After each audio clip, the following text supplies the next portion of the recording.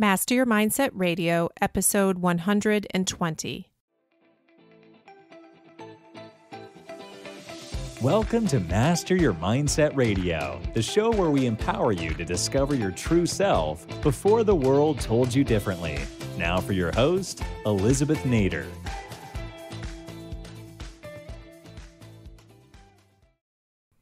Hey, friends, welcome back to another episode. Is there something in your life that you're trying to achieve? Something that you're investing time in, something that you hope to be able to do, something that you're planning, a goal that you're setting, you're moving towards it. Do you recognize that one of the keys to success is visualization? And I think a lot of times people people forget how important visualization is. We can do so much to plan and do and make lists of things we need to achieve and check them off and just literally be in that mode of do, do, do when it comes to moving a goal forward, achieving things every day.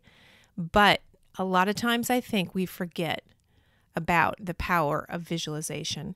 So there are times when we need to stop doing and start thinking and visualizing when you started out with this goal, with this dream, with this idea, you started out with a visualization. You saw it in your head. You saw the end result. If you didn't, you wouldn't have a goal, you wouldn't have a dream. So you're already doing this, but what we don't recognize, I think, is along the way when you're trying to accomplish this and you're in that doing mode, you forget sometimes to take a break, to step back, to step away and visualize the outcome. And why is that so important? It's not some voodoo magic that if you just visualize it in your head, it happens. There's actually science behind it, there's actually proof that it makes a difference. I want to talk to you about why. I want you to have the idea in your head that visualization is a big part of achieving your goals. I want you to remember that it's something that you need to practice. And here is why. I'm going to go through five steps that I think are very relevant, and I'll add some extra to this. But I was reading an article by Dr. Hamilton about this reasons you should visualize, and I want to add my own thoughts to it. But let me go through some of the most important reasons. The first thing is that it makes you feel empowered it gives you the sense of inner empowerment because what you're doing is seeing a result. You're seeing a goal, you're seeing it happen in your mind. And as you take little steps towards it, you notice small changes in your life or you achieve certain things to move towards that goal, you feel empowered. You feel inner empowerment because you know that that's one step closer one step closer to achieving it. So anything that we do that takes us closer to a goal, to closer to a green, uh, uh, I'm sorry, a dream, really re-energizes us and really begins to reaffirm our commitment to that goal and makes us feel empowered. And I have to ask you, would you rather sit down at your computer every day or whatever it is you do and feel empowered or feel like you're just exhausted and you're not making it work? Would you rather feel encouraged or defeated? Obviously, you want to be encouraged, empowered. You want to be all of that. So, when you have a visualization that you're trying to achieve, when you have in your mind the end result, when you see it in all of its glory and you take steps towards it, you feel that you are empowered. You feel a sense of control, which is good. And your control and what you're in control of is your attitude towards it, right? Nothing else but your attitude towards it. But that's a great feeling. So the feeling of empowerment is huge. And it keeps you even in moments where maybe things don't go your way a certain day or you don't get an answer to something that you want in reference to reaching that goal, you, you still feel that sense of empowerment. Here's something that's really important about the reason why you need to uh, in, engage in visualization is the brain and the neuroplasticity of the brain is fascinating. If if I were to start over in life, if I were to go back in life and choosing careers, and I think I would spend more time studying the brain. I think it's incredibly underused. I think it's wildly powerful. And we don't even begin to understand the potential that we have in what God gave us. So neuroplasticity is real. It's ability of the brain to to new to to learn new things, to be able to be flexible, to unlearn and learn. And one of the things that's amazing about it is that the brain doesn't distinguish real from imaginary. Now, they've researched this. How do they research this? Is that they study areas of the brain that are activated. So they have two people, one who actually does something. So let's say that person actually runs on the treadmill and they're studying how the brain reacts to that. And the other person sits in a chair and imagine, imagines running on the treadmill, imagines that running.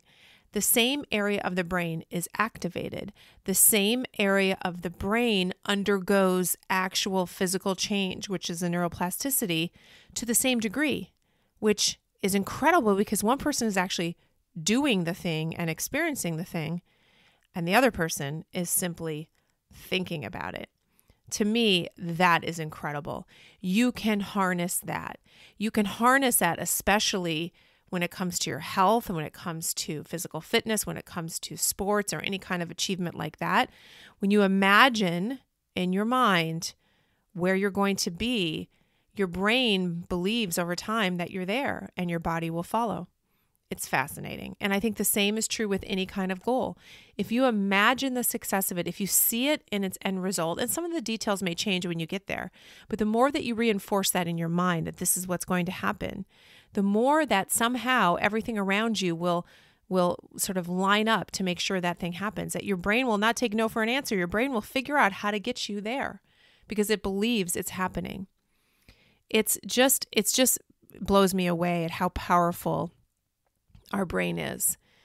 It, you, when you uh, just think about this, when you imagine living your dream, living that goal, experiencing that goal, living your dream, when you imagine it, imagine it right now, something that you want to achieve.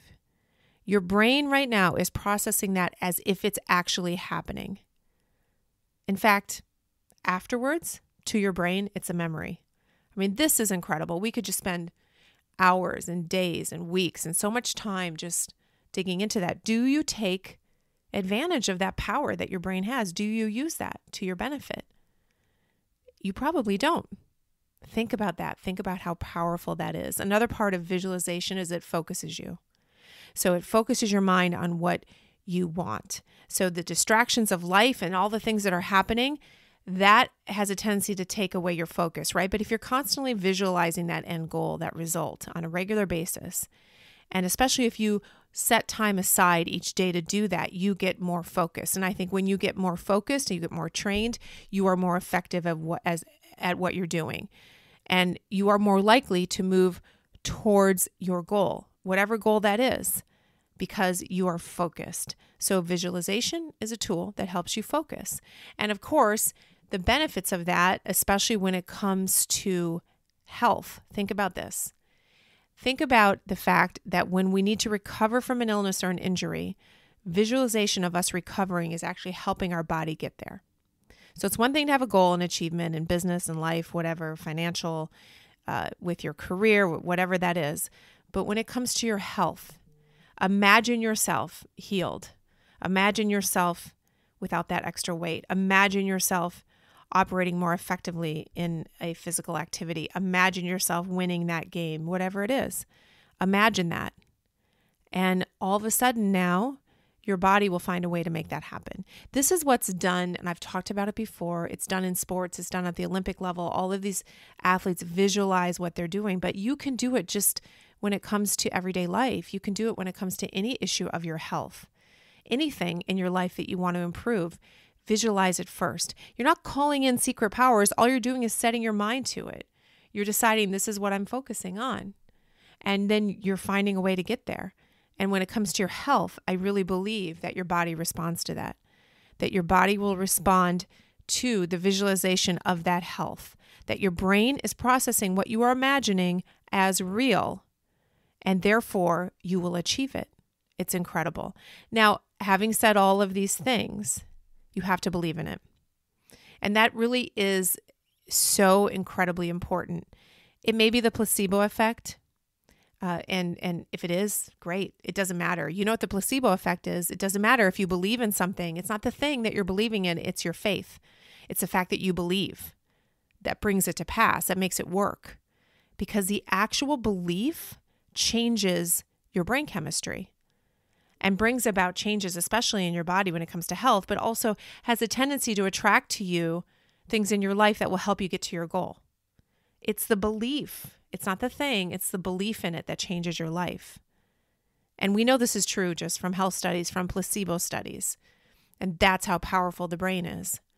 That is incredibly amazing that we have a brain that can create a scenario that doesn't even exist and tell ourselves that it exists and react accordingly and therefore find ourselves there. It's pretty overwhelming when you think about it. Now, my last point to you is you don't have to be a great visualizer.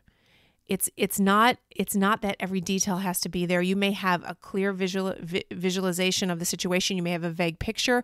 You may imagine it in different ways. However you do, just focus on it every day. Visualize. You know, maybe start your day and and before you really get going, maybe just close your eyes and visualize what you want to achieve that day, what outcome you want to see. Short-term goals, long-term goals, business goals, health goals, goals, financial goals, relationship goals visualize them coming to pass.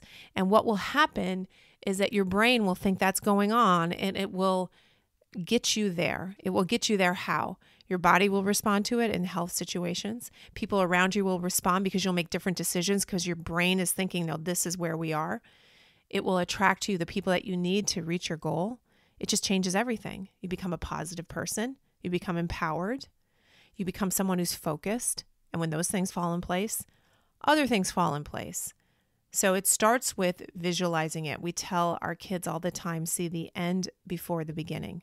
When you start something, see the end first. That's really visualization. That's really seeing where you want to be before you even start. And no matter what you have to do between now and then, keeping your eye on that outcome. Now, sometimes you may change the outcome. You may learn something along the way, and you may alter what you're visualizing. That's fine. It's the intention that matters. If your mind is pointed towards you want where you want to go, then you're doing it right. That's all you need to remember. I hope you can put this to use right away. Do it tomorrow morning when you wake up. Do it today. But start your day visualizing where you want to be. And while you're doing it, thank God, literally thank Him for achieving it. Have gratitude for the thing that you haven't seen come to pass yet, but that you're visualizing and that He will bring it into your life. Have a great week. Talk to you guys soon. Thank you for listening to Master Your Mindset Radio. Before you go, please visit elizabethnader.com to learn more about the Mindset Maven and how she is guiding high performers to map their mindset to their message so they can effectively express who they are and why their ideas should win. Looking forward to seeing you online.